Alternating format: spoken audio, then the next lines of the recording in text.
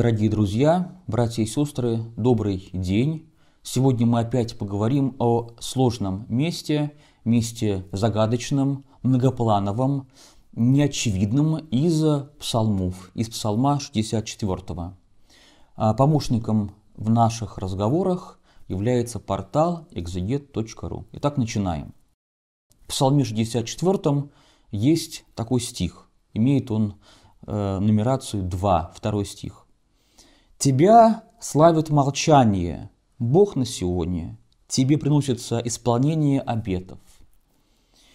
Но я думаю, что даже те, которые довольно хорошо знают псалтирь, в русской редакции или в славянской редакции не смогут вспомнить этот стих, потому что в знакомых нам редакциях Библии этот стих переводится немножко иным образом. А я сейчас прочитал перевод Мира Левинова, перевод, так, перевод иудейский, конфессиональный, который мне лично нравится своим таким очень праведным и уместным буквализмом. Он буквально переводит почти каждое слово, встречающееся в еврейском тексте.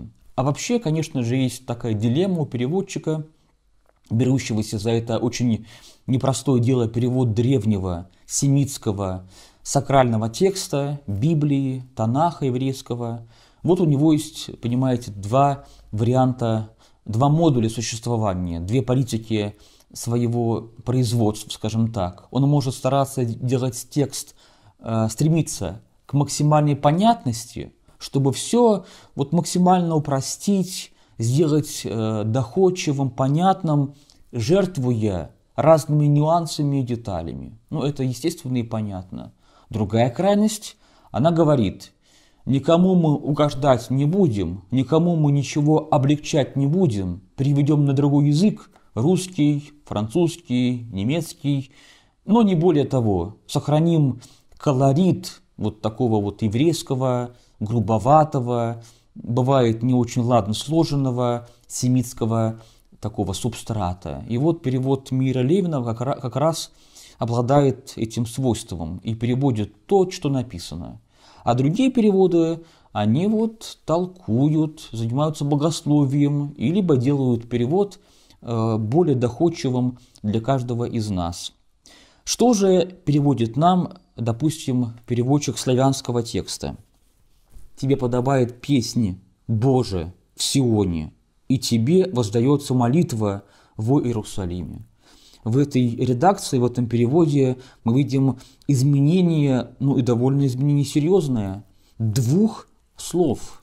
Вместо молчания у нас возникает песня, первая, первая редакция, ну это и есть еврейский на самом деле оригинальный текст, тебя славит молчание, и переводчик славянского текста переводит «тебе подобают песни».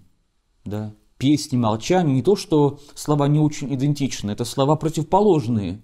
Потому что там, где есть песни, там нет молчания. И там, где есть молчание, там не должно быть ни стиха, ни песни, ни слова, ни вздоха. Должно быть отсутствие любых звуков. Ну и второе различие, возможно, вы его уловили. А, слово «обед» в еврейском а, тексте «недер» переводится словом молитва, и тебе воздастся молитва в Иерусалиме. Ну, также, конечно же, меняется время, настоящее на будущее, вот, но это уже нюансы, не будем в эти нюансы углубляться. А поговорим вот об этих вот э, различиях, откуда они появились и почему так вот обстоит дело с этим вторым стихом Псалма 64. И, наконец, давайте порассуждаем одна вот в сегодняшнем разговоре, разве может славить Бога молчание? Вот. Ну, э, скажем так, что этим, этим стихом начинается в этом псалме такая храмовая тема. Храм. Возникает идея храма. И вот приходит человек, автор этого псалма, герой этого псалма, Давид, а может быть не Давид, в храм, и вот он озвучивает свои переживания человека, находящегося в храме. Итак, что есть храм? Начнем с конца, пожалуй. Это место, где можно исполнить обеты. Вот. Тебе приносится исполнение обетов в храме. А, обет, слово «недер» является довольно важным элементом благочестия ветхозаветного.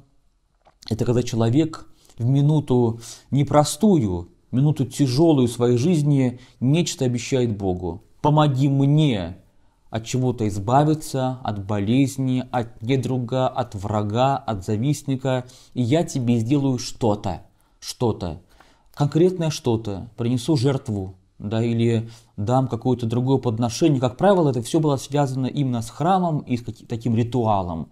В основном это было почти всегда приношение, подношение Богу жертв, жертвы Богу, храмовая жертва имеется в виду. Потом э, Бог спасает от э, невзгод, решает, про, проблема решается при участии Бога, и человеку нужно обед исполнить.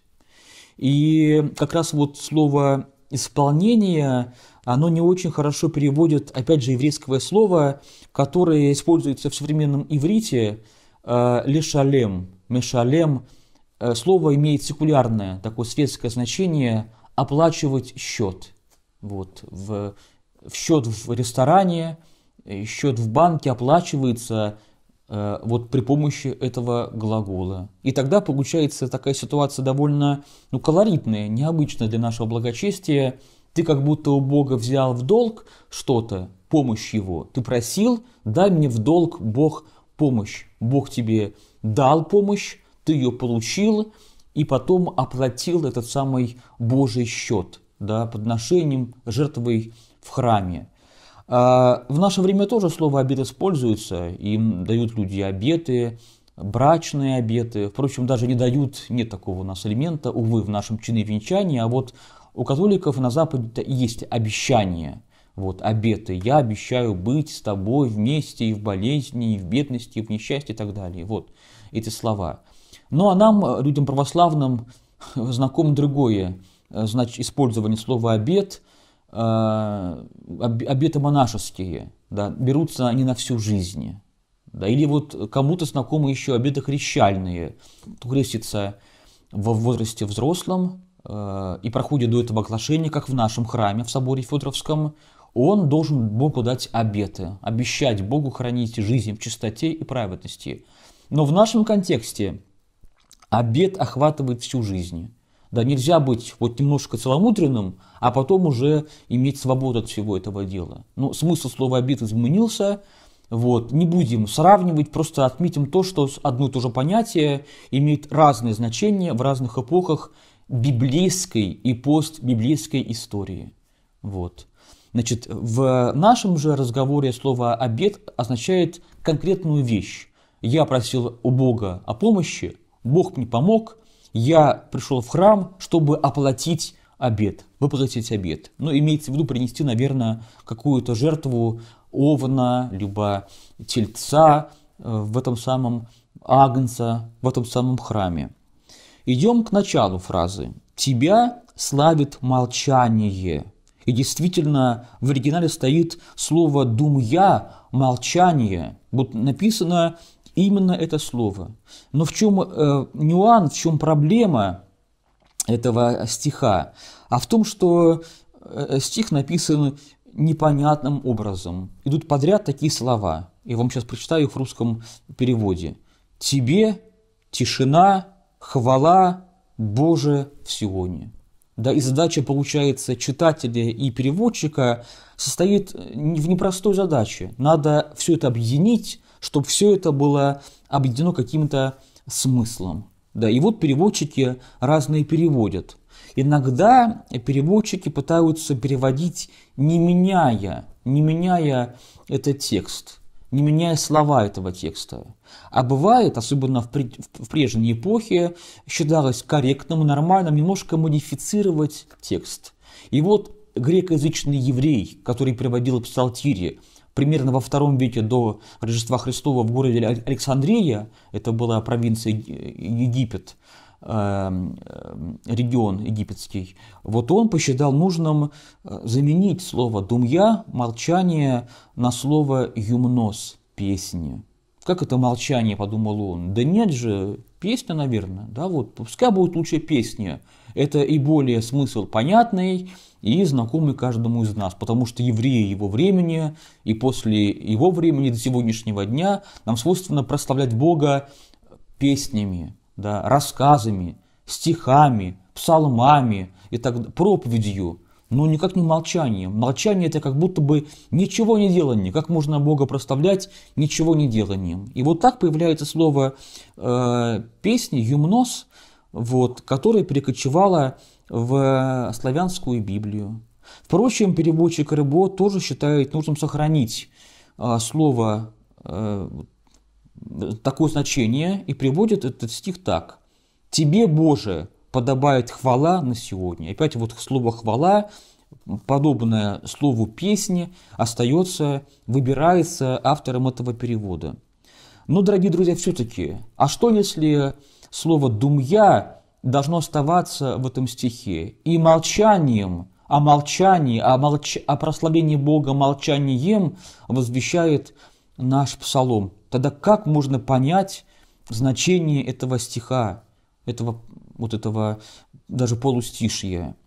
На удивление традиция иудейская как раз активно развивает вот именно эту линию интерпретации, как можно Бога проставлять молчанием. И вот, например, такое есть э, в Мидраше на, на книгу Тигелим, Э, псал, псалмы, псалмов такая мысль, очень мысль любопытная и для сегодняшнего дня, как кажется, очень актуальная. А, там такая мысль. Так много прославляющих тебя людей сейчас есть, так много песен, так много о тебе сказано и сложено, что как будто бы э, есть какая-то мера, она перейдена когда уже слишком много, да, при припол, переполненности, переполненности, как будто бы обилие слов компенсирует отсутствие чего-то под ними. Когда есть чувство, то слов много не нужно. Когда чувств нет, то тогда, возможно, и возникает это цветение и плетение словес. И тогда там такая вот высказывается мысль, а кто умножает словословие тебе, только принижает тебе. Вот такая мысль. Есть и другое остроумное решение, тоже принадлежит традиции раввинистической. Там такая мысль. Итак, тебя славит молчание. Но не сказано, чье молчание. Вот мы думаем, что молчание наше, и бывает, что и получается, что нам нужно молчать, чтобы Бога прославлять. А там другое истолкование этого полустишья, оно следующее. Ты молчишь, Твое молчание прославляет тебя. Как так? Бог молчащий является Богом прославленным, что ли, прославляющимся? А вот нет. Ты видишь наши грехи, наши беззакония. Ты мог бы вмешаться, ты мог бы нас осудить, а Слово Божье есть и сразу же и вердикт, исполнение этого приговора. Но ты молчишь. И в этом молчании проявляется великодушие, многотерпеливость, милосердие Бога. И тогда получается действительно твое молчание прославляет тебя, показывает тебя Богом милосердным и милостивым. Вот, и тогда, видите, уже два возникают у нас рациональных, разумных истолкования этого полустишья, этого стиха, когда мы оставляем в этом стихе слово «молчание». И вообще-то говоря, рассуждая вот о, так, немножко общо, можно просуждать о месте молчания в богослужении православном. Вот в нашем богослужении, наверное, это повсеместное явление. Люди повсеместно боятся тишины, молчания. Когда возникает какая-то пауза, сразу возникает рефлекс у настоятеля, там, у диакона вмешаться, потому что что-то кто-то забыл Э, чего говорить. Да, забыли, э, забыл регент песнопение, забыл вступить вовремя, диакон запутался в служебнике, э, чтец не ту взял книгу, не часослов, а требник, условно говоря, и возникает эта тяготящая пауза. Но на самом деле, дорогие друзья, а почему мы должны бояться паузы? Почему мы должны избегать? Почему нужно выгонять тишину из нашего богослужения? Возможно, после некоторых элементов богослужения пауза очень даже уместна. После причастия, после слушания Евангелия, или другие имеется в виду, между какими-то элементами богослужения. Давайте эти паузы, возможно, вводить, практиковать. Давайте будем э, уделять время размышлению о Боге в тишине.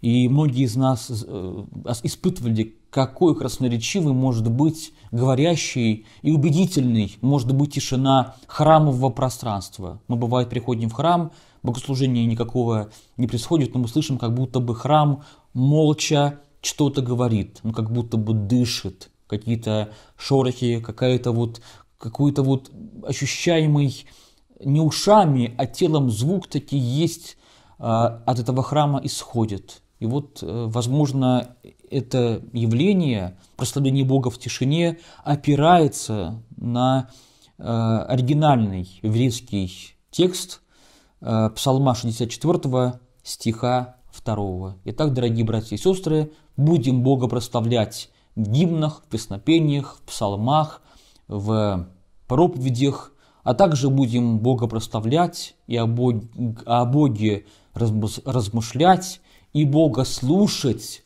самое главное, Бога слушать Его ответы, уделяя прославлению Бога, вот в этом прославлении уделяя место тишине. Разговор завершен. Спасибо за внимание. Помощником в нашем разговоре является портал exeget.ru. С приветом из Петербурга. Всего хорошего. Священник Алексей Волчков.